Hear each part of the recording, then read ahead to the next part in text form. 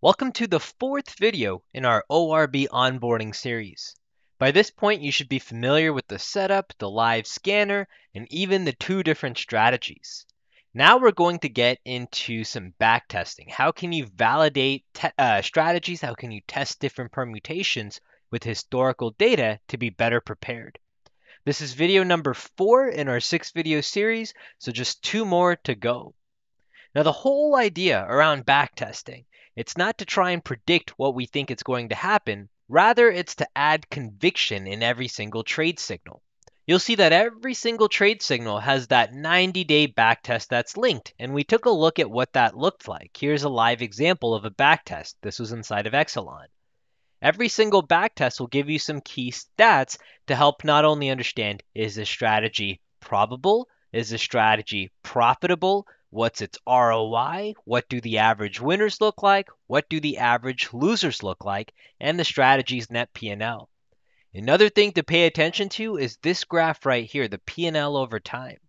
We want to make sure that there weren't extended drawdown periods, periods in which you had to deal with heat. If you scroll down the page, you'll also be able to see things like a long versus short breakdown, and then an individual trade transparency. So there's a lot of different information that lets you account for different market conditions, different trends, different volatility spikes. You can find average versus non-average range trades. There's lots of data here to be statistically meaningful. Now there's two ways to access the backtester. The first way, which I already showed you, is via the live scanner. So if, for example, I click the backtest for KOS here, if I click that, it will load the backtest for KOS. So that's the first way. The second way is by clicking Backtester directly in the navigation menu panel, and that will then take you to this blank Backtester screen where you can type in a symbol, choose whichever range you want to test, whichever strategy, and then start to dive deeper into the data from there. So two different ways that you can get to the backtester depending on if you have an idea of what you want to test versus if you're going in with an open mind. Now inside of the backtester, there's some key performance metrics. I already talked about the main ones you want to pay attention to. If your eyes need to scan something quickly, it's first the win rate, the trade expectancy, and then I take a look at the strategy P&L along with this graph right here, making sure for the most part we see it going from the bottom left corner to the top right corner. That's the overall direction that we're looking for.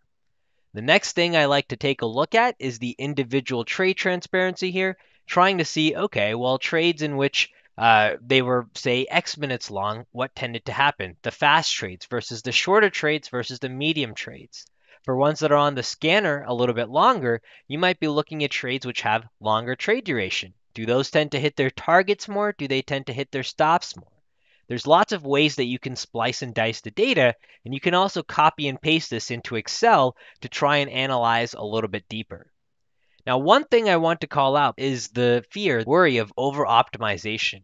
It's so, so easy to go down the road of over optimizing, whether it's to try and find perfect trades in which you have 100%, 90% win rates, but really all that's doing is curve fitting and trying to form a lot more to the recent historical price action, layering in so much recency bias there. If you ignore drawdowns, if you don't look at the graph from left to right, but instead the graph might have periods in which the P&L has dipped below, most traders can't really sit through that. So having a realistic idea is what the backtester gives you a realistic idea of the strategy, about its performance, and whether or not its performance is something you can get to.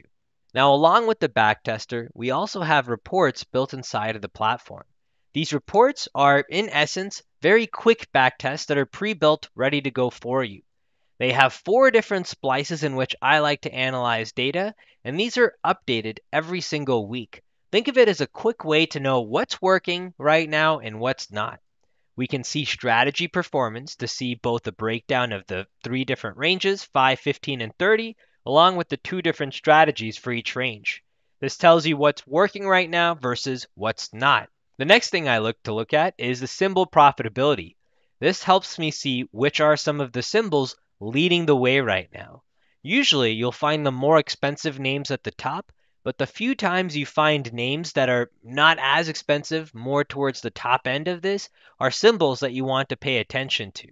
After that is the time-based analysis in which you get to see not only day of week performance, but also hour of day performance to see when do these trades work better compared to other times. And finally, a directional bias to know which way is the market trending, long versus short. This directional bias is also useful when the market might be switching trends and you'll see that one direction starts to become a little bit more profitable, showing you that very clear switch between bulls and bears.